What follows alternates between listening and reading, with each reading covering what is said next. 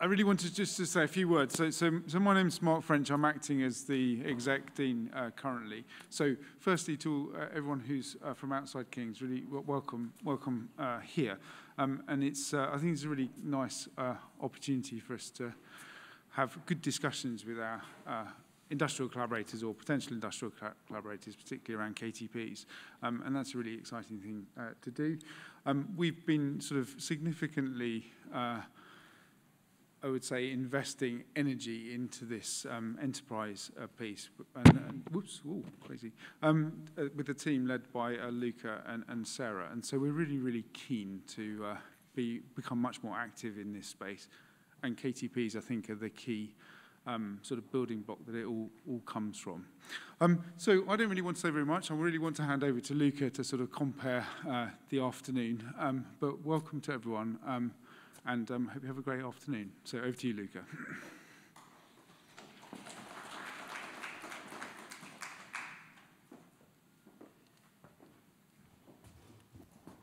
So, yeah, I've been told I should be using this mic because I walk around and then you will, uh, you will not necessarily hear what I'm going to say. So first of all, welcome from me as well. Uh, my name is Luca Viganò. I am the Vice Dean for Enterprise and Engagement of our faculty, the Faculty of Natural, Mathematical and Engineering Sciences. It's a long name, but it goes to show the variety of things that we do in our faculty. Um, we do have quite a packed program, uh, which has already started a while ago with the welcome, and uh, actually even earlier than with the tour. And I, I, I, saw that many of you went actually to see the labs and the robotics labs, and, and I will say a few words about that, but they're really uh, something that we are really proud of, and it's where we do not just our education, but also mainly our research, and that means also an opportunity to uh, to use them also for potential partnerships. Uh, I will now say a few words about King's and, and why actually King's is of interest for you. And by the way, I'm, I'm, I'm saying you because I'm talking mainly to our external guests, but, uh, and, and you're most welcome to, uh, to actually ask questions also later about Kings and everything. We also have a Q&A, but I also see many of my colleagues here, which is, which is fantastic because the idea is really for this meeting to, to be an opportunity for us to get together, to mingle, uh, to talk with each other and, and to ask questions that we might have. And indeed, that's why after my, my short introduction, we will have a talk about the KTP scheme. Uh, I'm sure that many of you will be familiar with that, but it's always good to hear from the source of knowledge, and, and Mark will be telling us more about that. And then we will also have two presentations by two of our current partners, Honeywell and Synoptics, who will tell us more about their experience, their business experience of the KTP scheme. And then we will have a Q&A panel where we will have the opportunity to also take a lot of questions from the audience. So if there is no time to ask questions, after the, the presentations, save them for the Q&A. Then we will have quick closing remarks and then the opportunity to network, to look at the posters again, to have a drink outside and to enjoy the space. Um, a little bit of housekeeping. We don't have any fire alarm planned for today. So if the alarm rings, it's probably serious, uh, but it's actually very, very easy to get out of here. We just go to the quad, it's a nice space, but let's hope we don't have to do that. Now, let me tell you a bit more why Kings, and let me start by telling you who we are. And this is actually a very nice picture of the quad, namely that space outside, which if you haven't had the opportunity to see, I would very much invite you to go and have one of the drinks later in that space outside. You can also play chess or table tennis or just sit and relax. And, and that is perhaps one of the best examples of the investments that King's has been making uh, in not just in our estates, but it also in general in our facilities, because many of our new labs are just below that space. And if you're curious about history, this is how it looked a while ago. And you can see it here. It was basically a car park. This is the main entrance of the King's on the Strand. Actually, it's the entrance that is closed. And this is that space where the cars were parked. And now it's actually a free space for, for us to mingle, to, to sit, to, as I said, play chess or table tennis. And below the two floors, three floors actually below, that's where much of the action is happening. So let me, let me go back to the, uh, to the previous slide because this is how it looks now. Um, it doesn't have all the features on this, this picture yet, but uh, it is really such a fantastic place. We're really proud of it, and it is actually one of the main points of attractions for staff and students. Now, obviously, King's goes a long way. So in a few years, we will have our 200-year anniversary uh, in 2029. And from the inception, our faculty, so natural, mathematical, and engineering sciences, have played a role in King's uh, from its very start, obviously computer science didn't exist in, which is my own discipline, didn't exist in 1829. We had mathematics, which was the mother of computer science, engineering, physics, and chemistry. They've been playing a role at King's, and actually it has been one of the places where we have had traditionally world-leading research uh, leading up to today. And what we have now is probably one of the most vibrant faculties of the university because there is the understanding that much of the research that we do as well as the education is relevant not just for our own disciplines but also cross-cutting. And indeed, perhaps one of the things that King's is most famous for is multidisciplinarity or interdisciplinarity. And due to the nature of our own research, many of us, many of my colleagues, including myself, many of our professional services people, we work very, very closely with our colleagues throughout the university in a number of different applications of engineering, of mathematics, chemistry, physics, and informatics, which are the five departments of our faculty. Um, I think I will skip this except for pointing again to the picture and saying, obviously, we have quite a big tradition of world-leading research. We have a number of Nobel Prize winners as well as winners, many of whom were in our faculty either as academics, as a, either as students or as academics. Um, you might recognize some of the names, in particular Peter Higgs, famous for the Higgs boson, but also Rosalind Franklin, famous for the DNA picture, which was actually shot in one of the labs below the quad. Uh, and of course, James Clerk Maxwell for the radio waves. If they go to the eighth floor, no, to the seventh floor of the King's building, you will actually see uh, uh, information about that. But we are building on that legacy to do research that is contemporary, that is particularly relevant. You see some of the examples in the posters there and in the demos, uh, but perhaps what I want to highlight are the things in the last couple of bullet items, which I will tell you a few more things about in a moment, which really are examples of the kind of research that we're doing now. We have, we have, as I said in our faculty, five departments. So chemistry, engineering, informatics, which is computer science, mathematics, and physics. And in these departments, there is research that is happening around a number of very different topics. So for instance, in, in chemistry, it's mainly chemistry of life and chemical biotechnology and green chemistry. Sustainability is actually cross-cutting across the five departments and actually across King's, and I will say a few more words about that in the next slide. We have recently relaunched our Department of Engineering. I mean, engineering has been with King since 1829, but it has undergone a number of very radical transformations over the years, partly dictated by the fact that we are in the center of London. So I always make the example, you know, we don't really have room to have a labs that is working on airplane turbines because you would need a space like this, at, at the very least, to have an airplane turbine. Airplane turbine.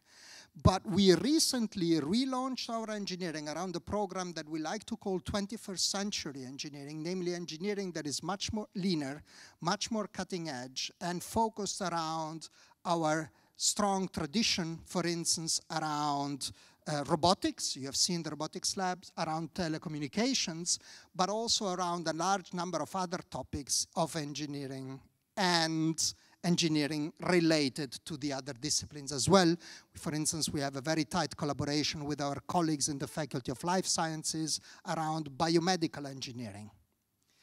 Uh, we have informatics or computer science, where perhaps one of the biggest strengths is AI. And indeed, you have come on a very interesting day today because today is the day we launch our AI festival, will go on for, which will go on for uh, four days. And it's just happening across the street in Bush House. And indeed, the timing is perfect because if you're free, program today will start at around 536. And it goes on also for the next few days. There are a number of different events. Everything is free, so you're most welcome to join us today or in the next days. Bring your kids, your family, your friends. Uh, there are a number of very, very interesting things happening which are showcasing our research, but also highlighting the opportunities for collaboration. We also work in cybersecurity, data science, and software systems, and indeed you see some of the posters there. We have a lot of research around mathematics, ranging from pure mathematics, including analysis, to number theory. So again, the strong connections with cybersecurity and privacy, with probability and applied mathematics, including, for instance, statistics and financial maths. So we have plenty of colleagues, for instance, who work uh, with, uh, you know, our colleagues in the city, but also I see, for instance, Tiziana here, who is one of the professors working on econophysics, complex systems in general, and many other opportunities in mathematics. And last but not least, physics. You see some of the demos there, so uh, quantum computing and lasers, levitating things. But here the strengths are around biological physics, nanotechnology in general, um, theoretical and experimental particle physics, so in particular cosmology and astrology, and condensed matter. So quite a large number of topics, some of which might look theoretical, and indeed some of them are. But actually, if you dig a bit deeper, there are plenty of opportunities for this theoretical work to be done in collaboration with industry. And indeed, this is what is happening, as you can see in the demos and in the posters. So part of the idea around this event was to get to know each other a little bit better, to showcase what we're doing, but also, and, and I say this as Vice Dean and as part of the team who is trying to provide adequate support, to actually encourage our colleagues to think a little bit more outside the box, because we know from experience that collaboration with industry is a fantastic opportunity. And let me conclude by saying just a few words about some of our research centers. Uh, we recently launched the Net Zero Center, which is a center that, as I was mentioning before, is looking at sustainability more broadly and net zero in particular, bringing together not just academia, but industry. We have many industrial partners, policymakers, and the financial sector. We have a Center for the Physical Science of Life, again, uh, cross-disciplinary center, trying to understand the mechanisms underlying living systems. We have, and I saw Nick yeah, there. Uh, the director of the Center for Urban Science and Progress, CUSP, which is an interdisciplinary center looking at how data science can support the improvement of and, and urban science and, and, and progress in general. And you will have seen something also fairly recent for this area, namely that the Strand has been pedestrianized between this building and the Bush House building.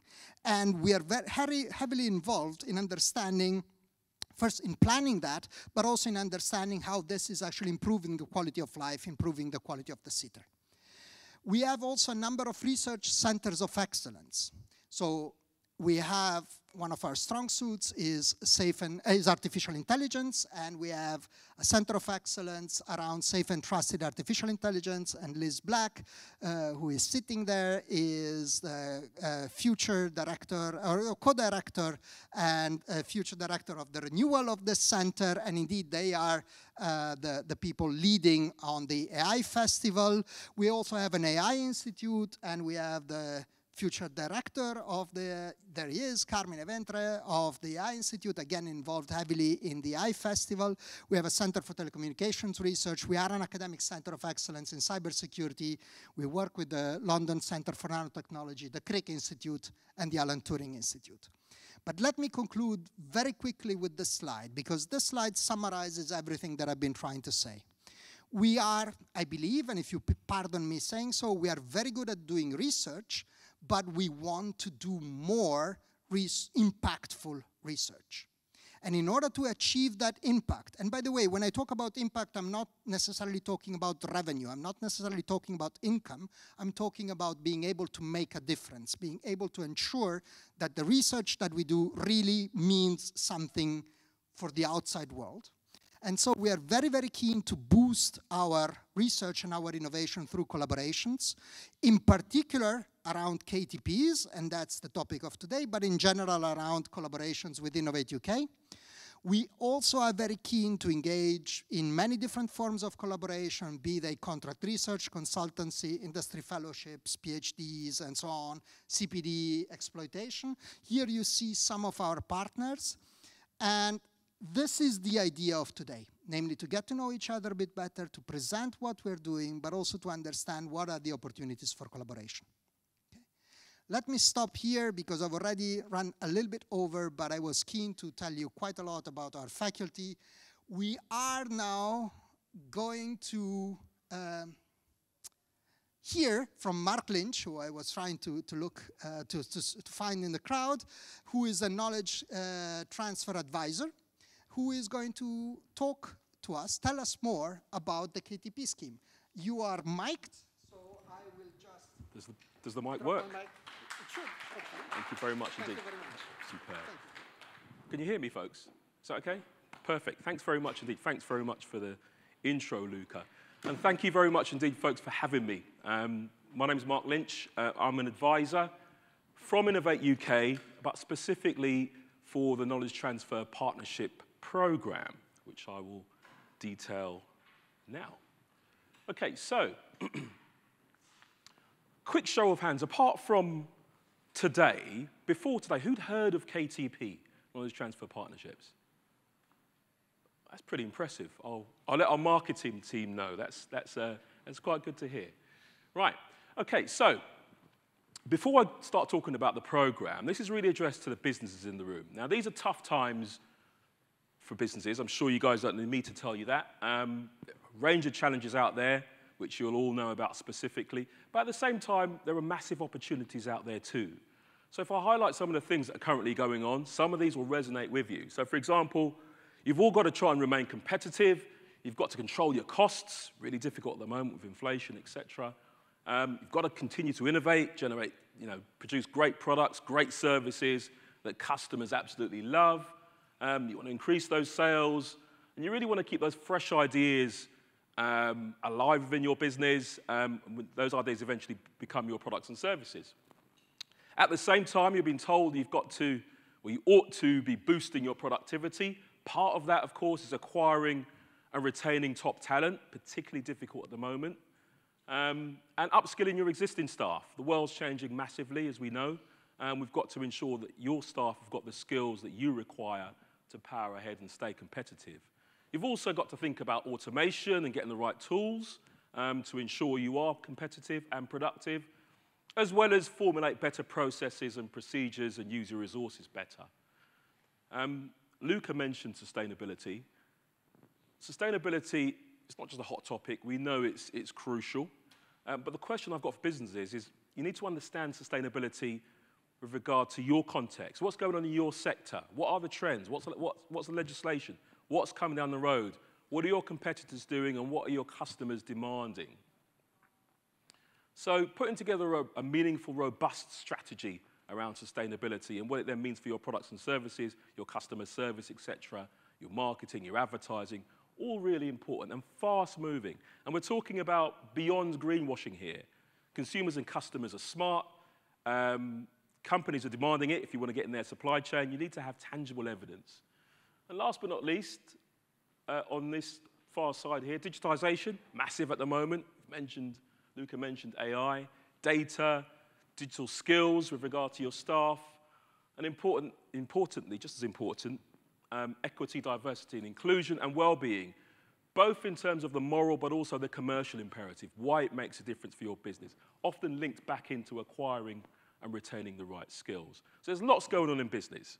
The good news is we've got KTPs in all of those areas across the UK, helping companies achieve great things in every, every area I've mentioned.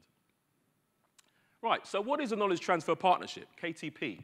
Well, firstly, it's a flagship Innovate UK program. The program has been going for an awful long, year, awful long time. It's in its 47th year, so that's continual funding for 47 years, different administrations, different austerity drives, recessions, etc. It's been continually funded throughout that time. In that time, it's impacted over 14,000 businesses, and at the moment, across the length and breadth of the UK, there are about 760 plus live projects.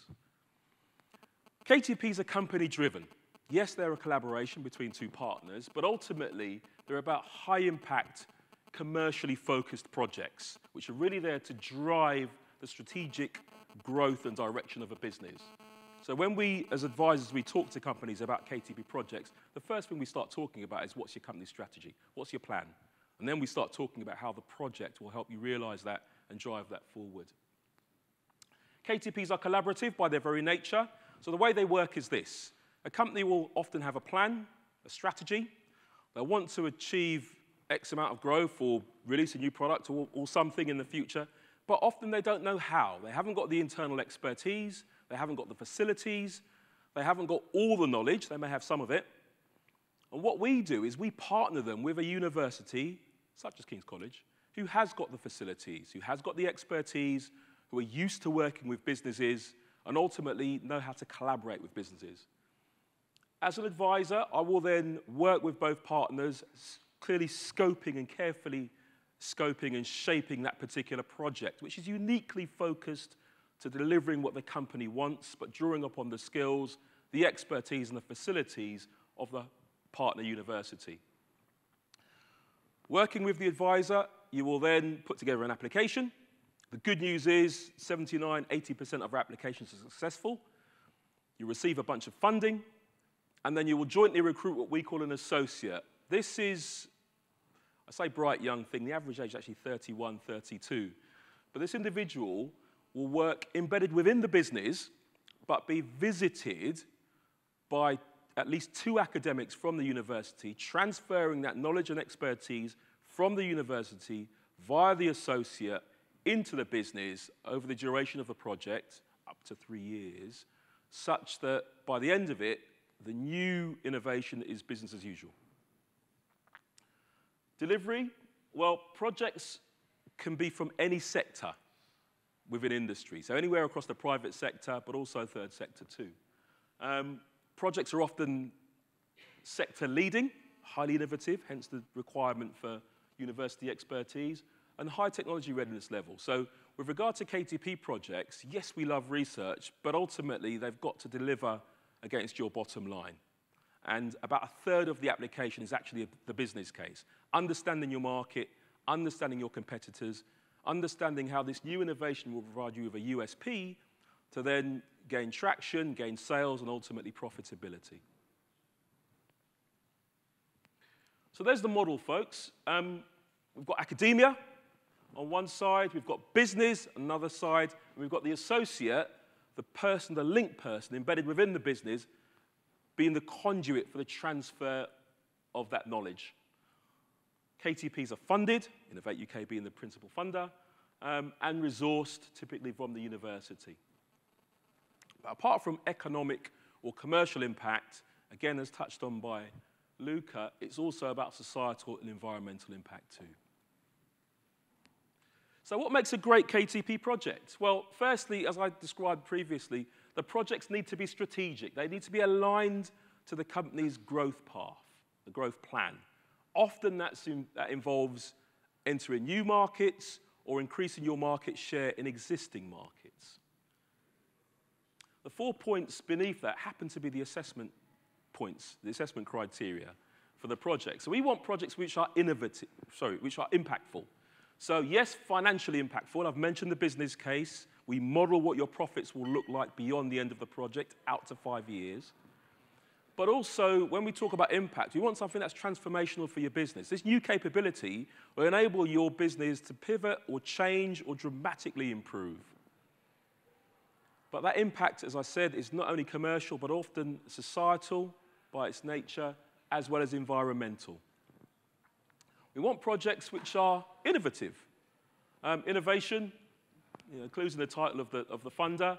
We want projects which drive innovations which are new, novel, disruptive for the sector, certainly different from what you currently do at the moment. Yes, the projects need to be challenging. The story goes if it's not challenging, why do you require public funds? Why do you require a collaborative partner uh, such as King's? Um, the project should be stretching and difficult, but at the same time realistic and achievable. And challenge, by the way, should be both for the company to develop and deploy, but also challenging the academics deployed on this too, um, as well as the associate who is there to deliver the project. And the final assessment criteria, or nature of a great project, is cohesive. In that application, we, we like storytelling. Start off with what the company's strategy is, what you're trying to achieve. And then what the project is, which will help you deliver that strategy. And then moving that forward, how you intend to commercialize that project, including routes to market, and then ultimately the profit you will make, but also the broader impact as well. Um, we, again, it's about compelling stories. It's about uh, really convincing the assessors that this is highly likely to be successful, highly likely to deliver on the ground, highly likely to grow your business. We often talk about the golden thread, that storytelling. So, what are the benefits? So, KTP, because it's publicly funded, is uh, audited to death. It's currently just, um, the draft audit's just out, actually. It continues to deliver. These figures are from the previous audit. So these are for a typical SME who's taken part in the program. Okay, so the vast majority of them, um, firstly, it helped them accelerate or de-risk their innovation. So some companies are spending money innovating. Some companies have got an R&D budget. What you really want to do is understand the likelihood of that R&D budget turning into commercial success. KTP de-risks that by way of a proven uh, structure. Um, it increases your competitive advantage as a business. It moves you towards best in class by applying that cutting edge innovation. What we found for the average SME who took part, increased their revenue, but crucially their profit by over a million pounds, which is quite a lot of money for a small business. So this is over and above what they would have achieved from baseline if they hadn't taken part. Um, most KTPs are around development of great new products, great new services, or radically improved processes. Often intellectual property comes out of it, sometimes for uniquely for the company, often shared between the company and the, and the university. And as I've mentioned, positive societal and environmental impacts are increasingly important in most of our projects, alongside that commercial imperative. What we found um, is com once companies have undertaken a KTP for the first time, they really like the idea of collaboration and the culture of innovation starts to blossom and they come back again either for other Innovate UK products or services or just to collaborate with universities or other companies. 86% come back appreciating what innovation and collaboration can do for them. Um, importantly, often companies make the link between R&D spend and profitability. So it leverages increased spend, not only for them, but also down their supply chain, to the tune of over a quarter of a million pounds for an SME. And a nice spin-off for KTP is increased exports. Often, as they move towards best in class, we can partner them with our Innovate UK Edge partners, and they start looking at exporting their products or services. Each product, sorry, each project you'll be supported by an advisor, such as myself or one of my colleagues, depending on where you're located in the UK. What's in it for the knowledge base or the university? Well, firstly, um, the majority of, in fact, all our projects tend to produce quite a few journal papers, conference papers, publications, and case studies, which often contribute towards REF and KEF. Um, it enriches teaching material. There's nothing better than teaching a theoretical subject and saying, I was at X company last week, and this is how they deployed it, and this is what the impact was. It really brings those lectures to life. Um, it enables academics to deploy their expertise for real world solutions, but also it's a source of valuable research income. Innovate UK will buy out the time of the academics and pay the institution. Um, but it also helps academic staff and researchers increase their commercial awareness in terms of what's going on out there in business and industry. And crucially, it helps to cultivate those strategic relationships between business and academia. For the associate, so the bright young person employed um, within, embedded within the business, it provides a unique springboard, helping them to apply their expertise that they've studied hard for or researched hard for to real world problems. And that's really important considering the, the existing skill shortage. Um, we mentor them. So they, in addition to technical skills, they receive leadership, management, project management skills, expertise, as well as interpersonal skills. So they're really rounded and highly employable at the end of the process. We provide competitive salary because, of course, we're in industries which are competing for the top talent. And um, in addition to CPD, I've mentioned mentoring. Um, they are mentored by myself if, if they were on one of my projects or one of my colleagues, but they're also mentored from an industrial person based in the business. So they get advice from two perspectives, particularly around the skills I've mentioned, but also the art of networking um, and building contacts within industry and academia. And 75% of our associates are offered a position by the host company. The others, by the way, um, tend to either start their own businesses, go into consultancy, join other companies, smaller companies, etc. So, a few stats about KTP. At the moment, um, you can see the number of projects we've currently got live. We've uh, plans to increase that to 1,000. We've got funding to increase that to 1,000 by next year. Um, the average age is 32, as I've mentioned. We've currently got 731 business partners. And there's a breakdown of the company sizes who take part. The majority are SMEs, but we have got some large firms. I've got projects with GSK, Um, Tesco. Uh, within the scheme, we've got Unilever, Rolls-Royce, Jaguar Land Rover, lots of others. And on average, it costs 80 to 100,000 pounds per project. A chunk of that is Innovate UK. And the success rate for applications is 79%. So, eligibility, any industry, any sector. Private sector, as well as third sector. And there are a few, we've now started opening the scheme up to elements of the public sector, particular local authorities and National Health Service. You can apply at any time. We've six competitions a year. As soon as one closes, another one opens.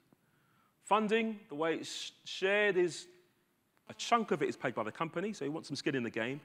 If you're an SME, it's a third of the cost. If you're a large business or a subsidiary of a large business, 50-50. Third sector, 25%. Costs vary depending on where you are geographically, the skill set, um, and the duration of the project. But on average, the company contribution per annum is about 35k up to 75k. The majority are at the lower end. Okay, most projects last two years. You can stretch out to three years maximum. So if any of this resonates with you, if you're a fledgling idea, um, do contact your friendly uh, King's College London Industry Partnership team member or myself, and we'll be more than happy to talk to you. Um, and for me, that's it, folks. Hope you enjoyed it.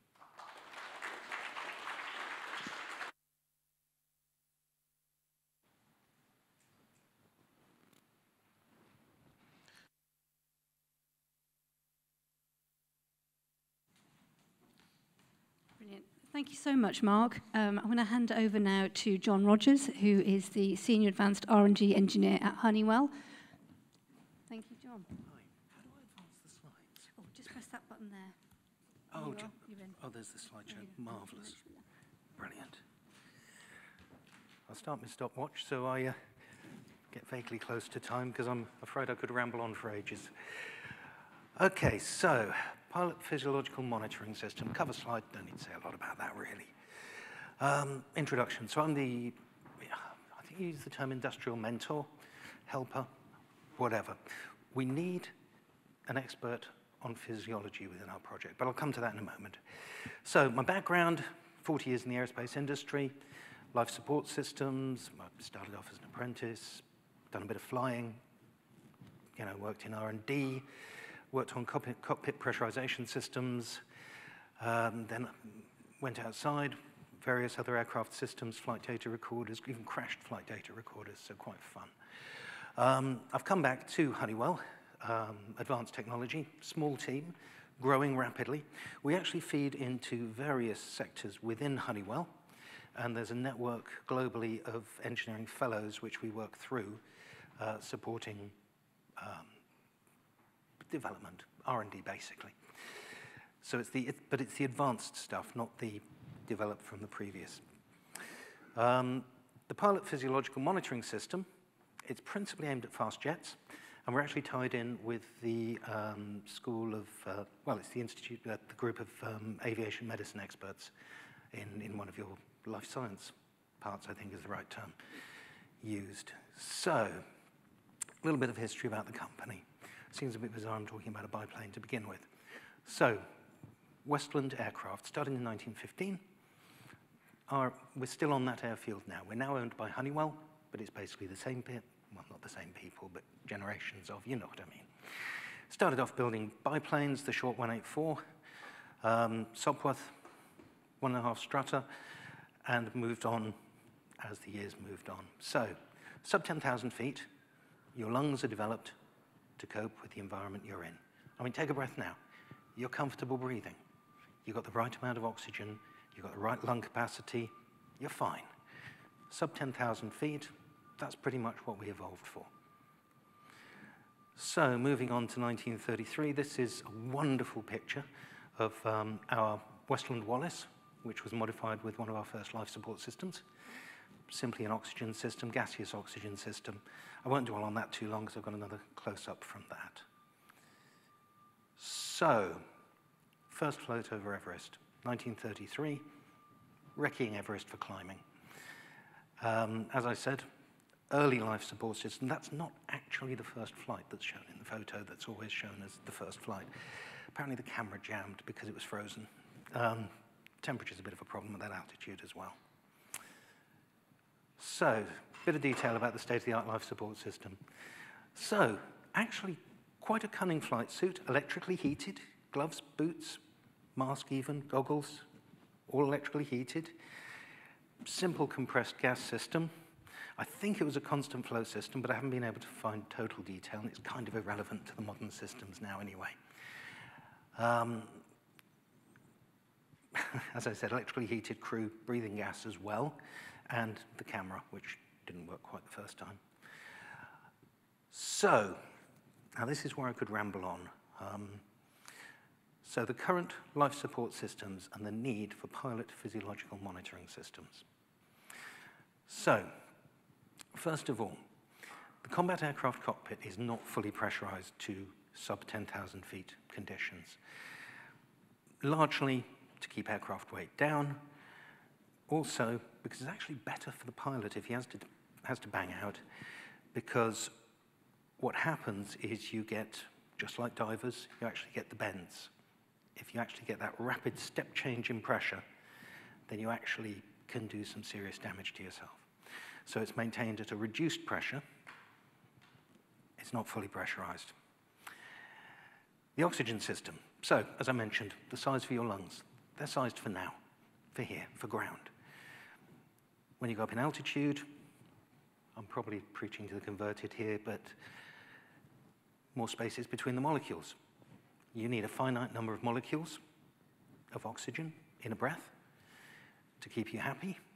And the only way to resolve that in the early stages was to actually enrich the, the air the pilots breathed, breathed.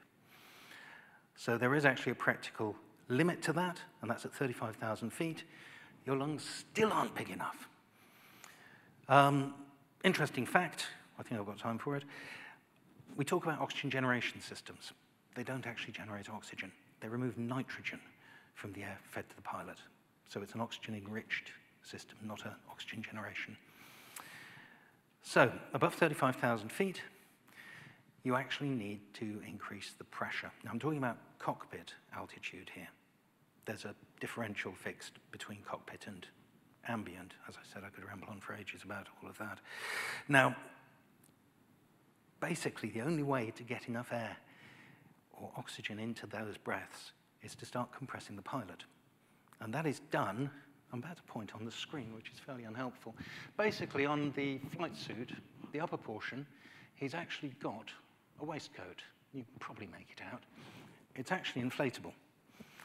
And what we do is we actually force a compressed gas into the waistcoat, crushes the chest in, and at the same time we overpressurize the lungs. Now we have some very delicate regulation system which actually controls the balance between the two pressures so we don't damage the pilot.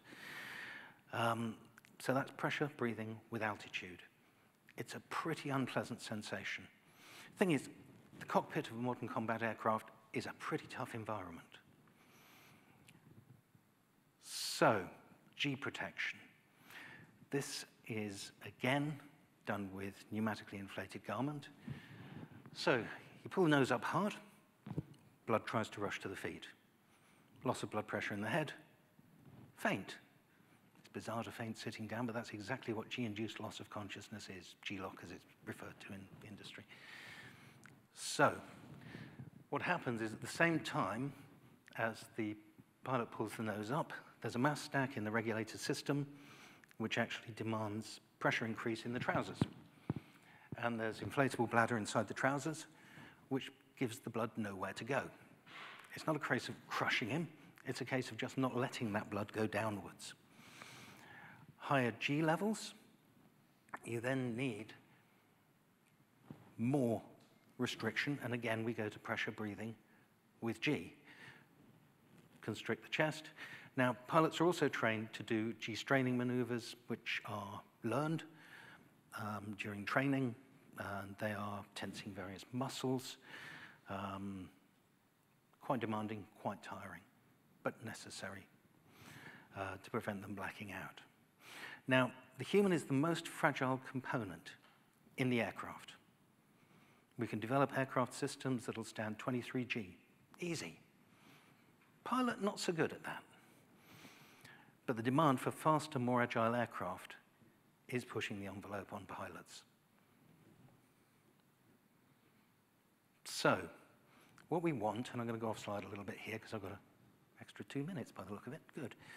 So, what we want to do is actually start looking at what's going on in the pilot. We want to look for the earliest signs of any form of incapacitation, any form of problem. Now, if there's difficulty in breathing because he's done his seatbelts up too tight, you know, his harness, that reduces lung capacity. That can produce real hypoxia at altitude, even though the life support system is delivering perfectly good on-spec gas of gas. It, it, the system's working right. The aircraft systems are working right. The pilot isn't.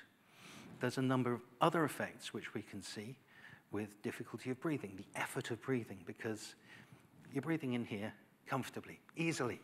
There's no restriction. When you've got a mask clamped to your face and you're placing a demand on a regulator to then switch the supply on, and then you have to breathe out to actually switch the supply off to then be able to exhale, that bites into the time you're breathing in and out.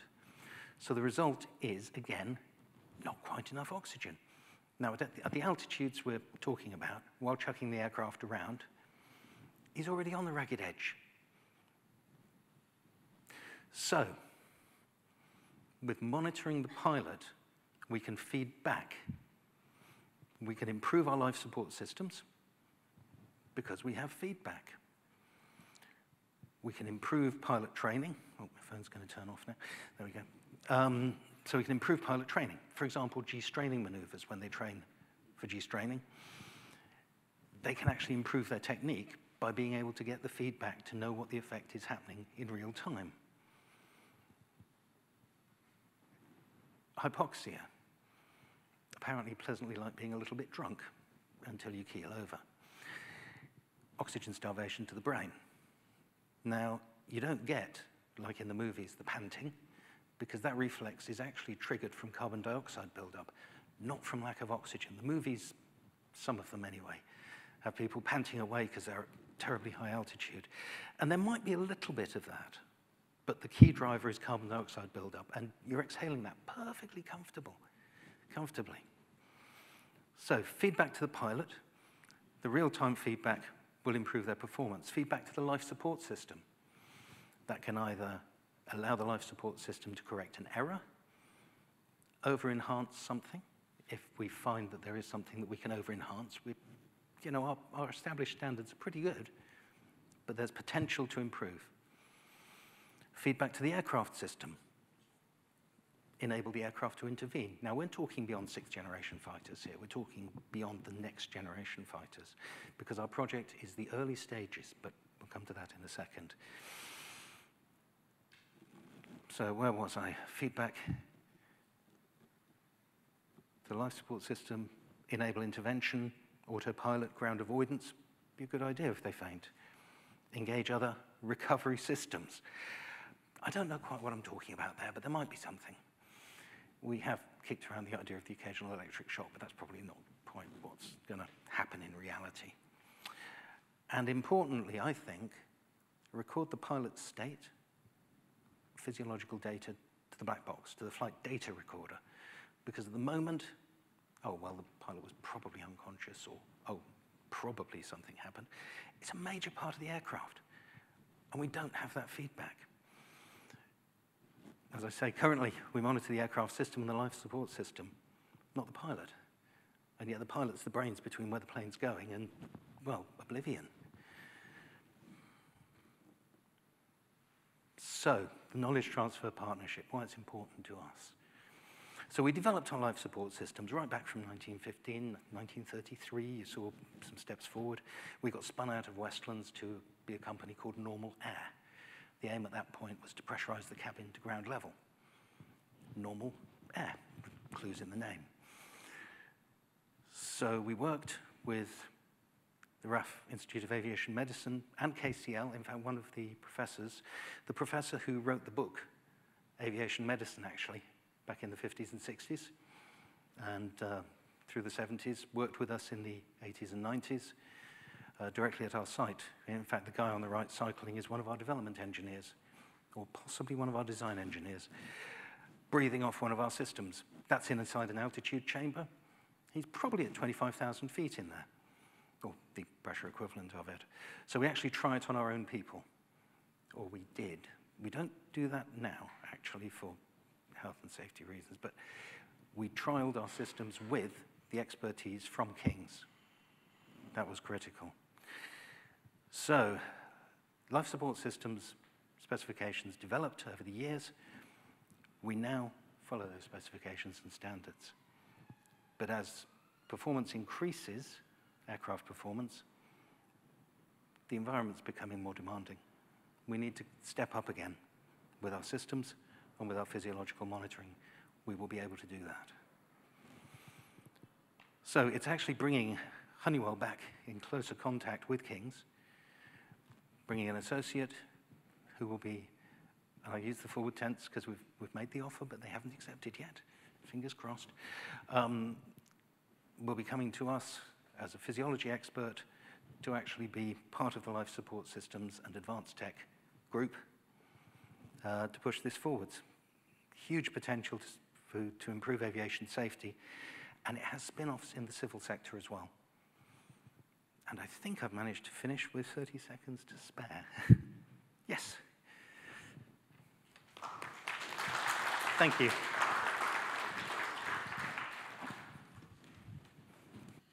Thank you so much for that. Um, so we're now going to hear from another company. Uh, I'd like to introduce you to Sam Farrow, who's a Deputy Tech Director and Head of Tech at Synoptix. Thanks, Sam. Uh, I'm actually not Sam Farrow, to start off with. Uh, my name's Callum. I'm one of Synoptix' project engineers. Sam is also here today, though he is just nipped to the loo. Um, so you're very welcome to have conversations with him, but I'm afraid you're going to have to listen to me instead for a little bit. So the aims of this presentation, we were asked to talk a little bit about why we consider KTPs to be a vital investment in the R&D future of our company. So we're going to talk roughly through who Synoptix are and, and what we do, why we think KTs, KTPs are important. Um, we've got one kind of current KTP and one that is going to kick off very shortly. And then a couple of kind of conversation starter case studies. We want to have some really good conversations with you in the networking later on. So hopefully Um, start a little bit of a conversation, give you a chance to get in and get engaged with us. So Synoptix is a systems engineering consultancy. We established in 2011, and we work across a diverse range of industries. So uh, defense, rail, aerospace, proper space, um, energy, maritime, you, you name it, we've done, we've done it across, across the industry.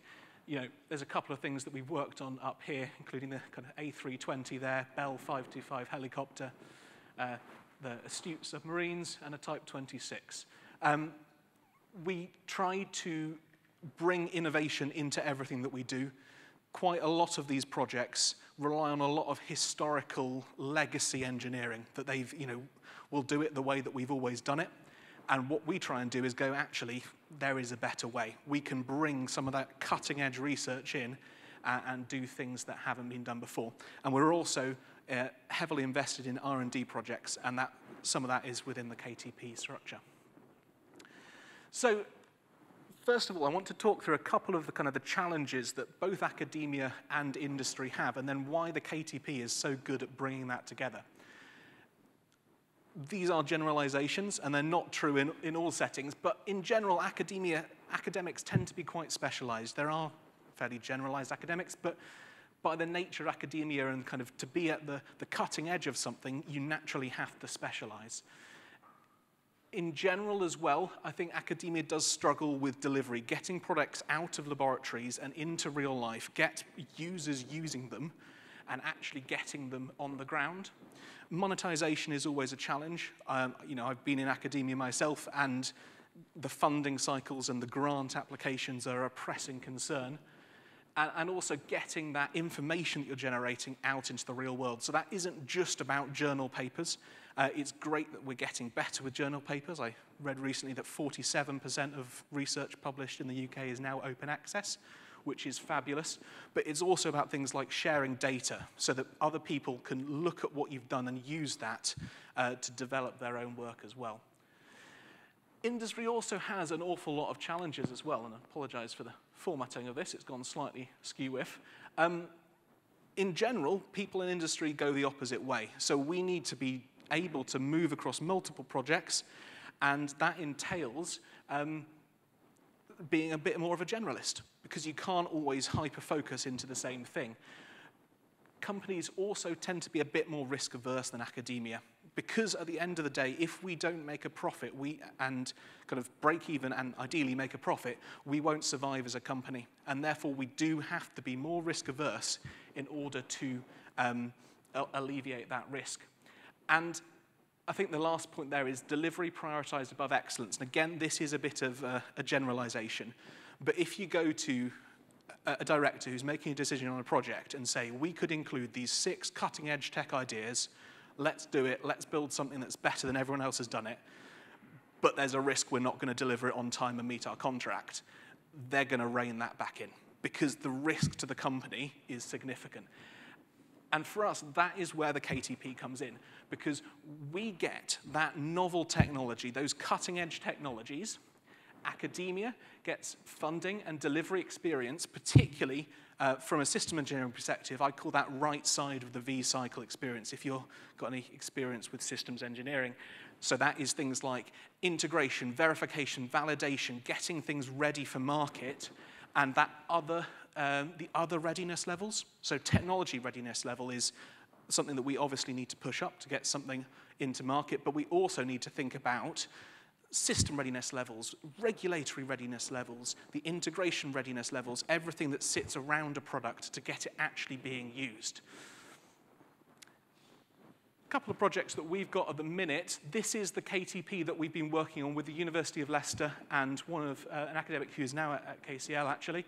This is uh, for a computer, computer vision system. Uh, it's edge-based, and it's aiming to do automated census on railway crossings.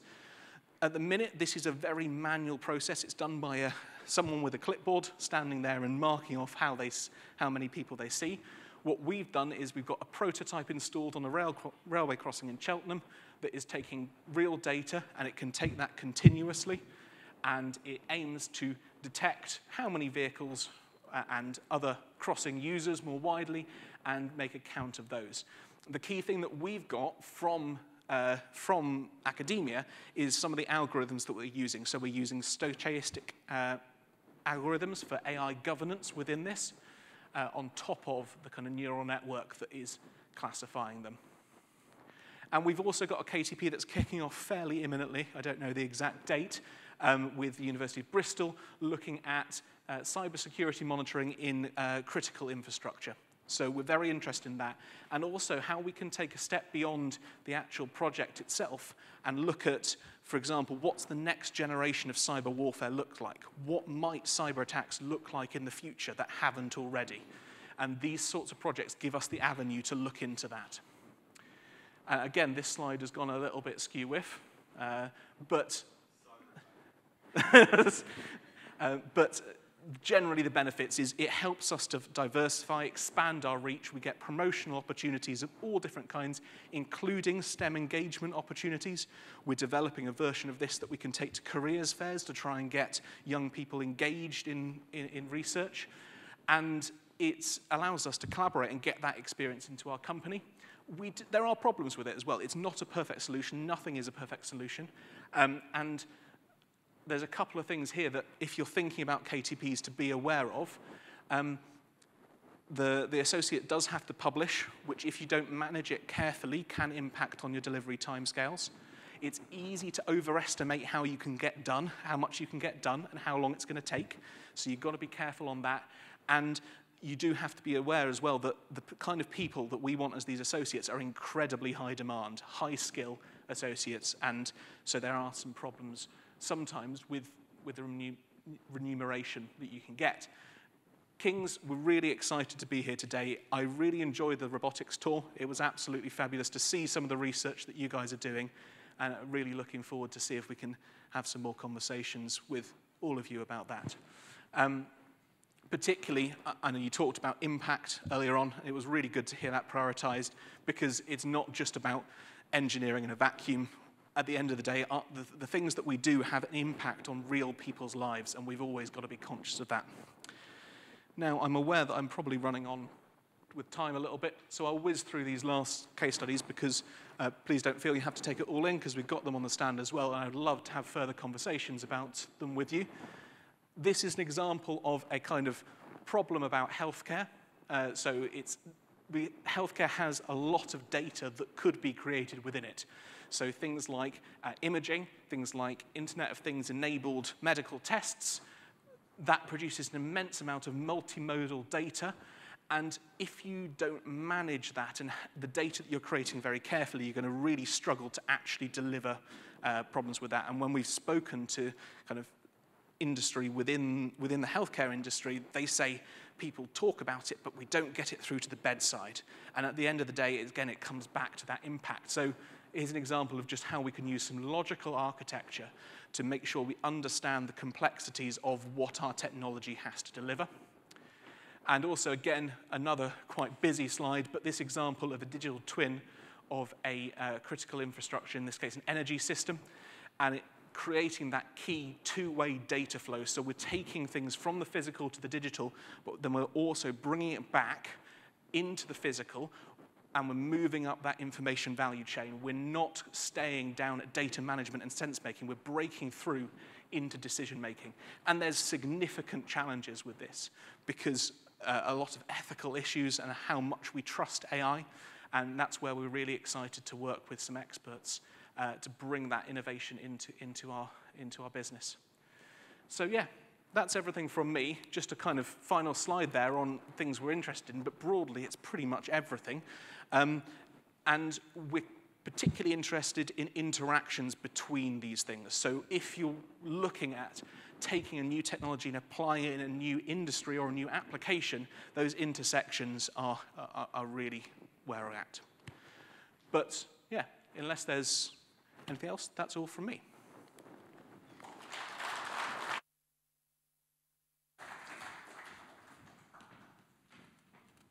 Brilliant, thanks, Callum. Um, so, okay, so I'm just going to um, hand over now to our Q&A panel. Um, for all the speakers, can you come back up onto the stage? Um, and I'd like to hand over the chairing to my colleague Yanis Samis, who is the Industry Partnerships Programme Manager.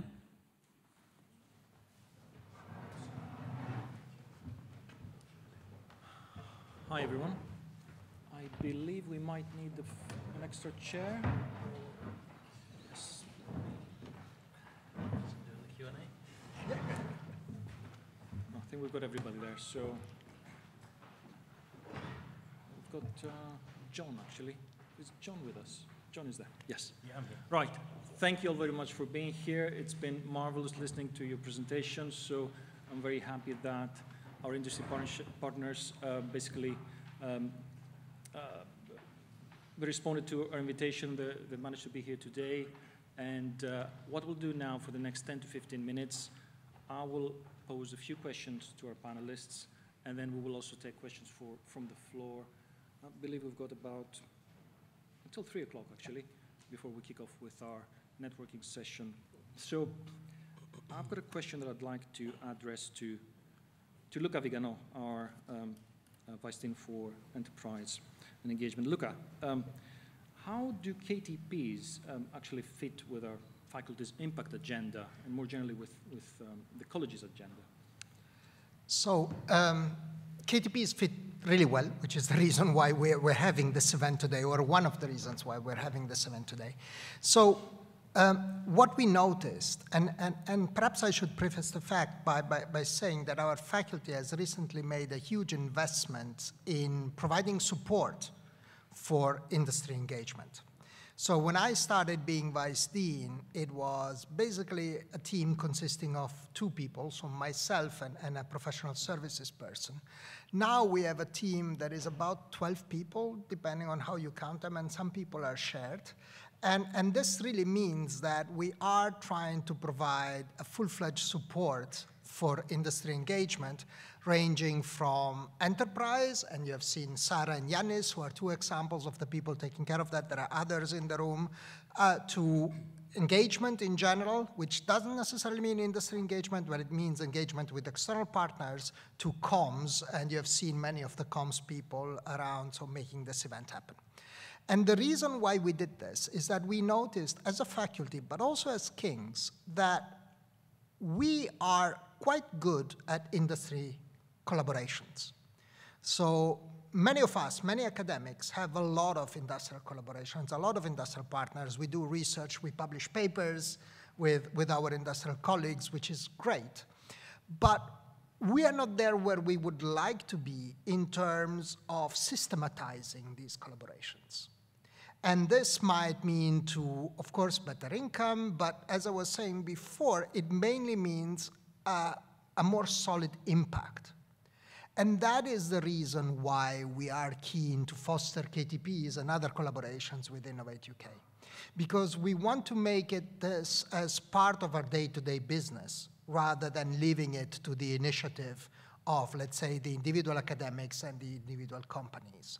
That is why we have that support in our faculty, but also at King's level, to really make sure that we bring our collaborations to the next level, that we really try, really capitalize on what is already happening around research, but make a difference for the outside world, make a difference for the companies. I mean, what I really liked of these examples is that we have seen that through the collaboration with academia, there has been a huge benefit for the company that probably would not have happened in that way or in that time frame had the collaboration with academia not taken place. Uh, shut up here. I would love to talk more, but I'm no, conscious of time. Thank you very much, Luca. Impact is a huge subject yeah. indeed.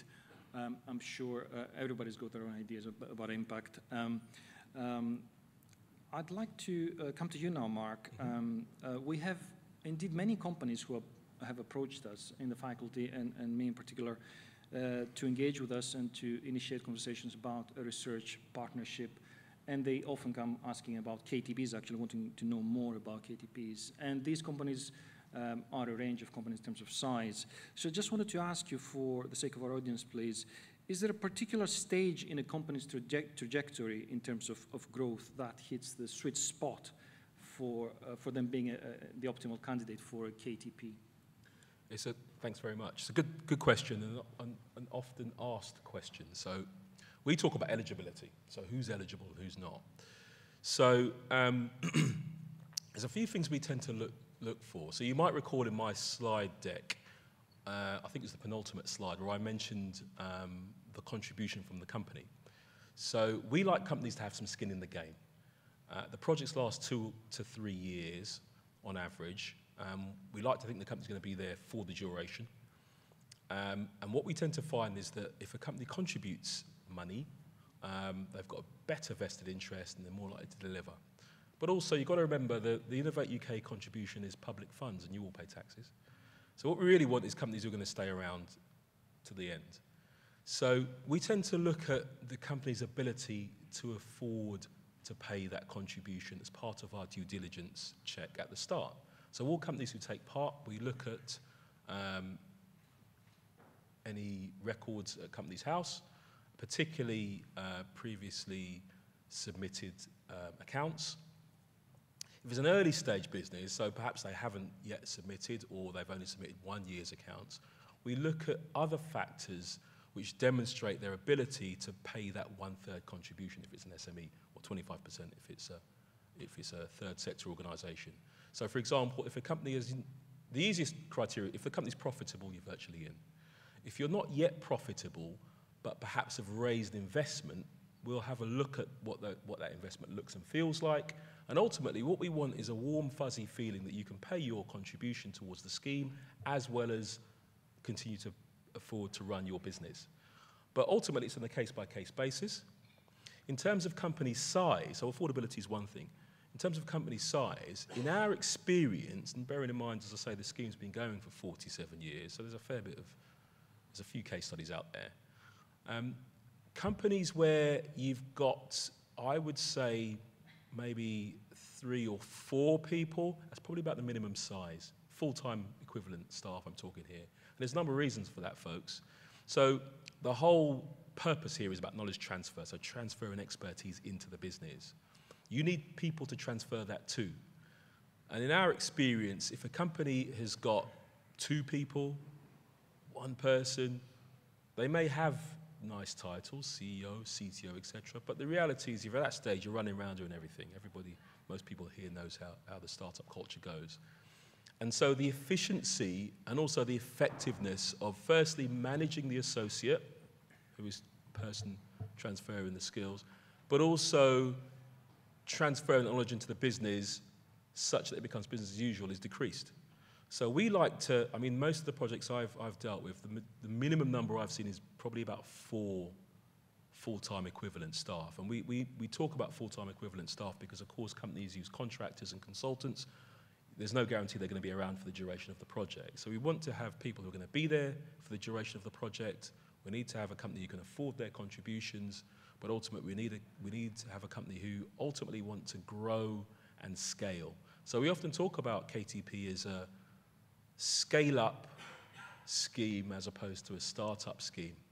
Um, but if you're at the lower end, ultimately it is about a case-by-case review, which the advisor will help you with.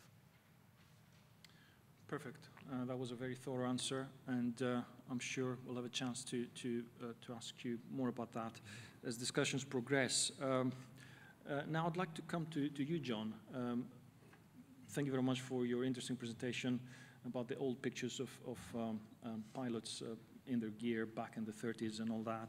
Um, so I understand you have a long-standing relationship with King's, uh, with um, the professor who helped you uh, decades yep. ago to, to set up um, your, your R&D program, basically, and who wrote the book, actually, on, on, on the topic, right, if I understood correctly.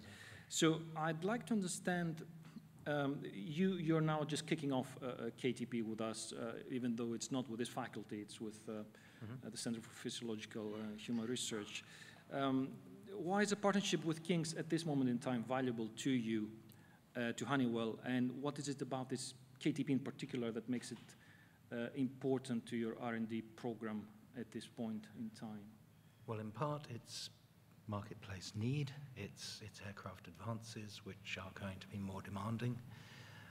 It's also um, improving systems that we deliver. Now, for us, Kings have unique expertise in aviation medicine.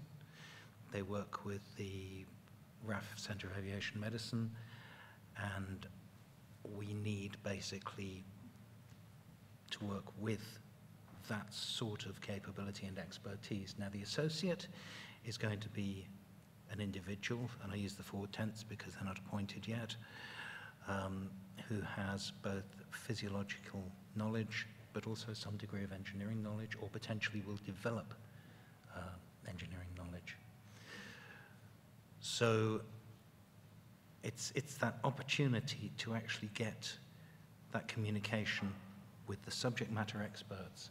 And King's actually get something out of it as well. In fact, the um, head of aviation medicine, Pete Hodkinson, I don't know know him, he, um, he and uh, his, his colleague Ross actually said that uh, when, not if, but when we get an operational system, then they'll be one of our first customers because they'll actually be able to push their research as well. The other thing, which I will just explain quickly, is that a life support system, you take your pilot, you know, you, you judge people by what looks normal in the doctor's surgery or the hospital. We have parameters where it's, oh, that's a heart attack, that's a this, that's a that. When you're pulling 6G, inverted, at 37,000 feet, the responses may look very, very different. So what is actually healthy and normal under those conditions, we're also going to have to determine. And that is such medically biased, non-engineering work. So it, it really is a collaborative effort with King's. Thank you. Can I just press you on one point? Um, if you take the pilot out of, of the system completely, as, as, you alluded to towards the end of your talk, because we're moving towards you know very fast jets and, and technology is pushing the limits there. Is there? I mean, I'm just thinking. It just came to my mind now that in this faculty we have active research in autonomous systems, uh, drones, and whatnot. So, um, well, there is, is Honeywell somehow active in that moved, space at all? When I moved away from life support systems to, to other things, I thought drones were five minutes away. And they weren't, and they're still not, realistically. Um, fully autonomous drones, which can actually make those snap decisions, it's very hard to find a substitute with a pilot. But we also have the spin-off into the civil aviation industry. And also don't forget that um, for example, tanker pilots, refueling system, pilot, you know, another side of my work, um, you know, long haul, relatively boring, straight level flight kind of scenarios.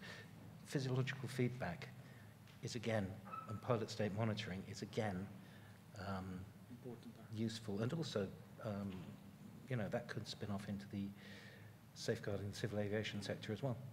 I mean, I think Co-pilots would like to know when their pilot is having a heart attack, for example, earlier rather than later. Sorry to be. Thank you. Thank you. Uh, very interesting space there.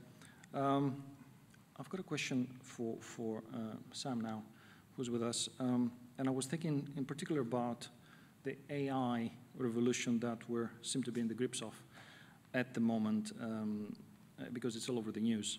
Um, do, do, you think, as Synoptix, do you think that uh, companies in the UK are adequately prepared, basically, to to position themselves in this space? Um, and uh, I've got a second uh, a second um, branch to to my question.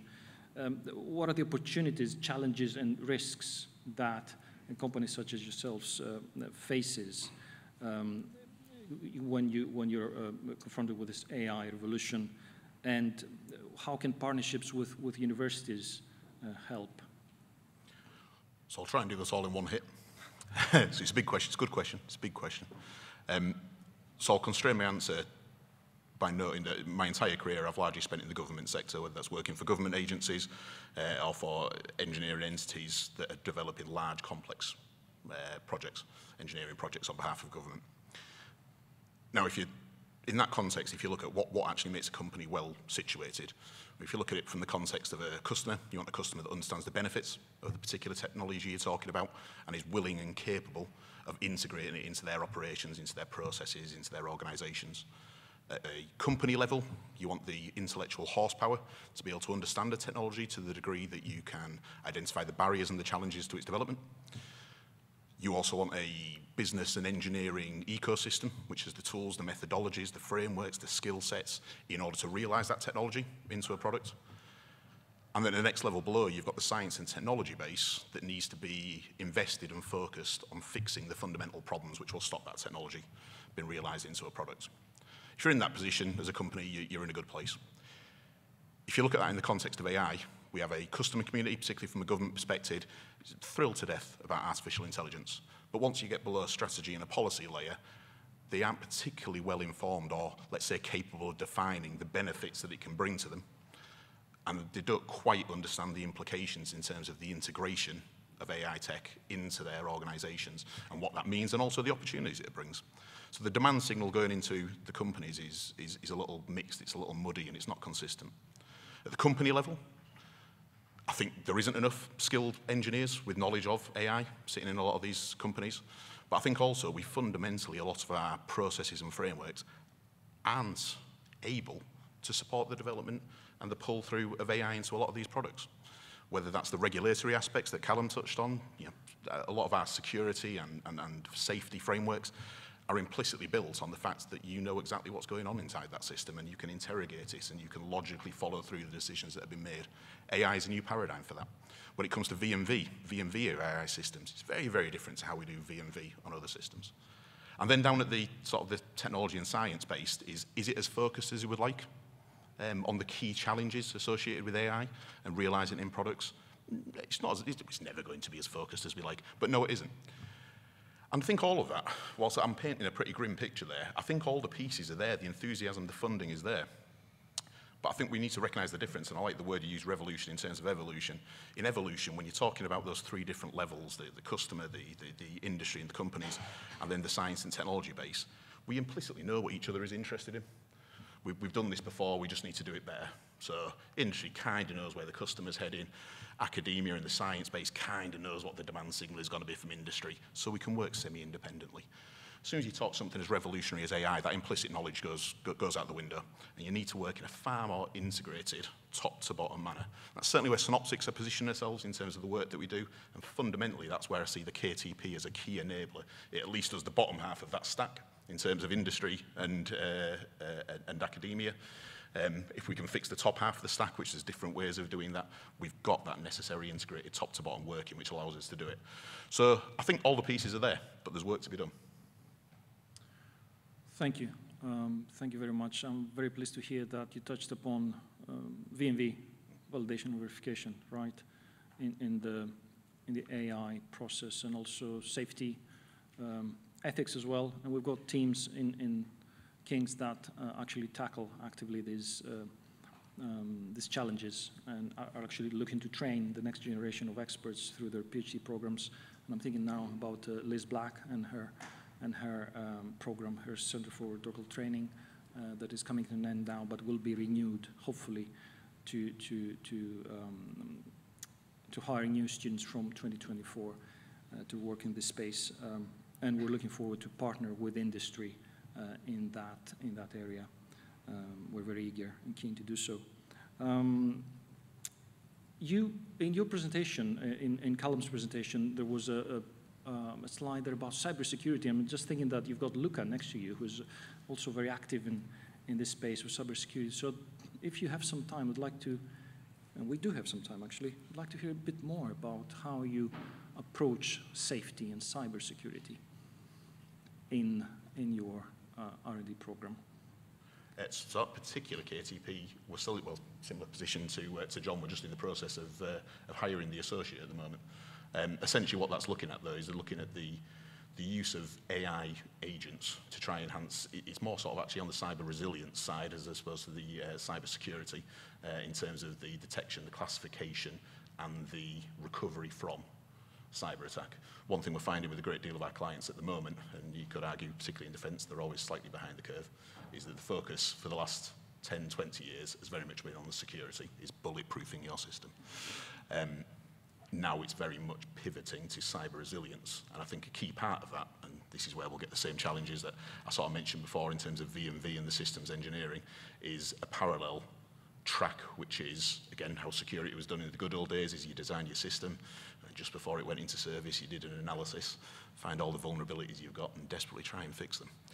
Um, now there's this secure by design principle uh, and resilience by design principle. Um, so I think, as I said, there's, a, there's the application of AI agents, but then there's a broader piece of how do you do that in a systems fashion, incorporating and verifying and validating the performance of an AI where appropriate. Thank you. We'll uh, certainly watch this space. Um, believe I've run out of questions, so I'd like to invite any questions from the audience.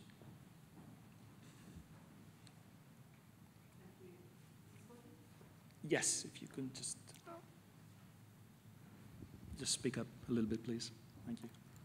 Thank you. Um, we've got a question from one of the online attendees. Uh, Ranjini was wondering if alumni from other countries are able to apply for the associate positions. I believe this is a question for Mark. Yeah, no problem. yeah, it's a good question. Um, absolutely. Uh, I can't remember the specific percentage, but around about two thirds of our associates actually come from overseas, um, which probably speaks to the chronic skill shortage in tech, engineering, and science in the UK. Um, I think on an annual basis, we publish a, a map which shows the countries of the world um, coloured in different colours um, and where our associates, ex existing associates come from, and it's, it's virtually everywhere. So yeah, absolutely. Um, what I will say though, from a company perspective, bearing in mind associates are jointly recruited by the university and the company, depending on the nature of the company's business, um, elements such as security, etc., those may go into the job specification. Um, but yeah, we, we're certainly open to, to associates coming from overseas. Thank you, Mark. Got a question here in the front. Thank you. Hello, uh, two questions for Mark. You mentioned that 75% of associates get offered jobs. Excuse me, could you please introduce yourself just very briefly? I'm sorry, I'm Nick Dillon from Select in Cambridge. Um, do you know how many take up those offers? It's about 64%. Okay, that's good. About 64. It's quite high. Um, what we tend to find is, firstly, associates actually love the work they do. But you might recall in my slide, I spoke about the mentorship. Um, and some of that is really about immersing themselves in the company culture and the, and the industry culture as well. And bearing in mind, the subject area is the associate's passion. Often these guys have researched in this area for a long, long time.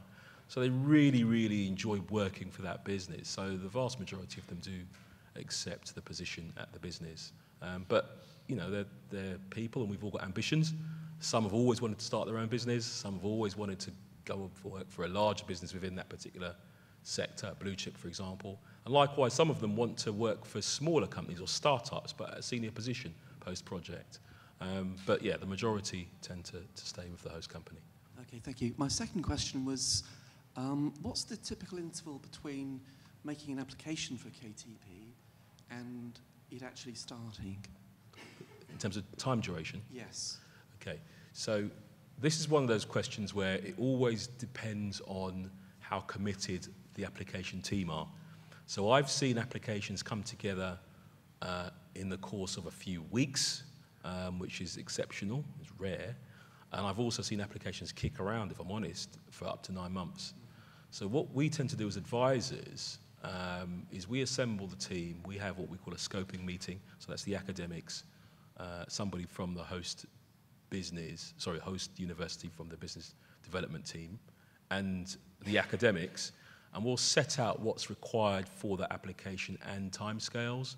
Uh, we'll normally set out uh, when we expect to see the first draft, which is probably about three weeks or a month or so. Um, but, it, you know, people are busy. Um, and it all comes down to priorities. We, we make it very clear when the next uh, submission date is and the one after that uh, and we typically aim for the, the nearest one. So if I had to answer your question, on average, I'd probably say it's a couple of months, maybe two months. Thank you. Um, hello, it's uh, Michelle from latestcell.com. Um, I was very interested to hear the panel talk about um, collaboration, systemization, making a difference to the out outside world, etc. And my question is, it seems that the lack of R&D funding is related to education, and I think that's one of the key problems in terms of trying to get industry or the right companies to engage with um, sort of technology and understand it and therefore be open to using it. Now, one of the things that has also been highlighted with the panel today is that um, there is a focus on um, having companies that have a minimum of four staff members, um, that uh, having someone who is a freelancer or a consultant is not as valuable as an employee because they may not stay for full three years. But I mean, I've been in technology for over 20 years, and I can tell you that the, the best um, engineers, the best coders, even those who are employed elsewhere, they're always looking for some hot project somewhere as a freelancer, and uh, especially with AI. Um, the best have sort of set up their own businesses. They're happy to enter into either joint ventures or sign NDAs, or they can just be sort of professional consultants. But it seems that you're almost cutting off that angle, and it's a starting point, which perhaps is not ideal to have in a very established company with 10 or more employees. But in terms of the current landscape for tech, uh, especially AI, um, that's my, my knowledge of, of engineers and, and coders who want to engage and they will engage especially when they feel that the project is right and the company is right, but the environment for that particular company doesn't seem to be um, one that perhaps some schemes will be suitable for, it seems. I'll, I'll take this. So the first thing I'll say is that it's not one's more valuable than another. This is one scheme. You might remember in Luca's slide deck, there is a myriad of different ways organizations of all sizes can cooperate and collaborate, certainly with academia, but also within each other, with each other. So KTP, remember, is one scheme of a myriad that Innovate UK offer. We have a number of competitions and calls which are absolutely applicable for one-man bands, freelancers, and all the rest of it. Um, this is one scheme. The point is, all of this is public money. Public money needs to be targeted at different areas and different companies, or you end up duplicating where that money's targeted. So whereas we're focusing on KTP today, and I've set out some of the criteria for this particular scheme, for other schemes, whether they're Innovate UK or uh, other public funders, or indeed directly from university schemes, there'll be something there for everybody. So it's really a case of doing a little bit of research. Thank you, Carl. Can we? Thank you. Thank you, Mark, sorry. Can you hear me? Oh, yes. My name is Nicoletta Brucoli. I'm from Sarah Sarazen and Partners. Uh, when uh, a company submits an application, and has a strategy, has a project for which requires an associate. What happens if uh, these projects, I, have been involved in many of these, um, they are described on the paper, but then once you start working on it, they get in other directions. How flexible then is the project? How, how, how does it work in, in reality? In practice? That's a good question. So the scheme is quite flexible. So as part of the application process, there are essentially two main documents. One is the application document, which has got the majority of the things I've spoken about today. The other one is something we call a work plan, and the chaps will be familiar with this. So it's a stage-by-stage -stage project management document, which pretty much identifies how the project will be uh, executed, and it's the plan by which the associate follows. Once you receive the funding, we have governance meetings once every four months. And the very nature of applied R&D, and you guys all know this, it may take you in slightly different directions. So as long as the project team, so the academics, the company representatives, and the associate agree, there is flexibility to change direction according to that plan, providing it's in agreement with everybody. So it is quite a flexible scheme. And the reality is there are a few KTP projects that will run, for example, three years and be exactly like that work plan because applied R&D as you know, may take you in different directions. Thank you, Mark. Um, we have another question here in the front from Celsica. Hello. Yeah, Fred Whiffen, also from Selexica in Cambridge. Um, Mark, you alluded to the different ways companies could engage with academia. And I think for small companies looking to engage, they're not sure always which, what way is best. And I don't know if all of you may have a view on this, but um, how would a KTP compare in particular to a, sponsoring a PhD? and where would a KTP be better and, and where might, might a PhD be better? So I, I'd, I'd, I mean, all of them have got their place, by the way. And sometimes we have KTP projects in companies who've also got sponsored PhDs. But I think KTP, as our, my colleagues have described, I think they're more comprehensive, more coherent, more far-reaching, almost certainly more commercially orientated and applied. Um, whereas sponsoring the PhD is absolutely fine if you want to crack a particular problem or investigate a particular area. But it depends what your business needs. It depends what your business wants. If your strategy is really around commercialization and getting the idea out there and ultimately uh, you know, generating profit, I think KTP is probably better aligned for you. Um, so very much depends. And that's part of, by the way, when we start, when, when a project is first comes across an, assessor, an advisor's desk, we'll have a look to see what's best for you. And sometimes I talk to companies and KTP is not the, not the right answer. Sometimes it is around you know, contracted research or it is around sponsor, you know, uh, uh, sponsoring a PhD.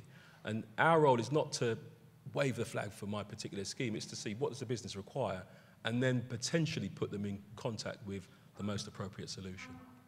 Yeah? Luca. If, if I may add something, uh, exactly what Mark said, but there is also an opportunity to talk to the academic partners. Mm. And this is exactly the work that, that I am and, and, and the team and the A&E team do. Namely, once you have the contact with the, with the academic and you have the, the project idea, let me put it this way, uh, we are there, and, and obviously many of our competitor universities too, uh, they have teams that do that. Uh, you know, we, we, we can provide the support to try and understand what is the best framework for that kind of research. I mean, we have people in this room who have gone through that process. They thought that the idea initially was suitable for, K, for a KTP, and then we understood, no, actually it was something else, something bigger, something smaller, or maybe more suited for a PhD student. There are, there are many different ways in which uh, you know, a project idea can be framed. So in a sense, you have this additional support that teams like ours can provide, and obviously there is then the contact point. Having myself gone, because I'm in the process of writing a KTP proposal, and we had our meeting with Mark last week, and it was tremendously helpful because I went into the meeting with my academic hat on, not, not my vice dean hat on, and I learned a lot of things. I learned how to phrase the proposal in a way that it is suitable for a KTP, and, and what the benefit of actually doing a KTP is for the research idea, because that is something that you need to make explicit in the application, and it's something that will guide your work over the next two years. So it's not just a matter of, you know, of winning it, but actually, you know, do you really want to frame it as the research that you will be doing in the next two, three years in that way? Is that what you want to do? Is another Innovate UK project or an EPSRC project or something else perhaps the best, the best way to actually do that research? So having those conversations with the support that Innovate UK provides, with the support that we and others provide, that, that can really help. Both, and the academic too, by the way. So not just the company, but I learned a lot in the process. Fred, I look forward to speaking with you about this uh, yeah. in our networking session as well. Thank you. Yeah. Um, are there any other questions? Yes, I think we've come to an end. Um, before uh, closing, I'd like to thank first of all, our speakers and the companies, our partners, and our future partners who have responded to, to my calls and my team's calls to, to be here with us today, as well as Mark Lynch. And I'd like to point out for the people in the audience that we also have another person from Innovate uh, UK KTN with us, and this is Richard Foggy there. He is also very knowledgeable about everything that has to do with Innovate UK and the various schemes, so please uh, uh, speak with him um, in the hour that we have at our disposal. So also, I'd like to thank uh, my, my colleagues, uh, Sarah, Ayo, um, Carl, Lizzie, um, Emily, and Luca for his leadership, uh, for helping us to put together this event. And uh, yes, I believe we have some, um, we have drinks and, and canapes and networking. And also the demos and the posters are there for, uh, for everybody to, to, to look at and ponder about. Yeah, thank you. Yeah.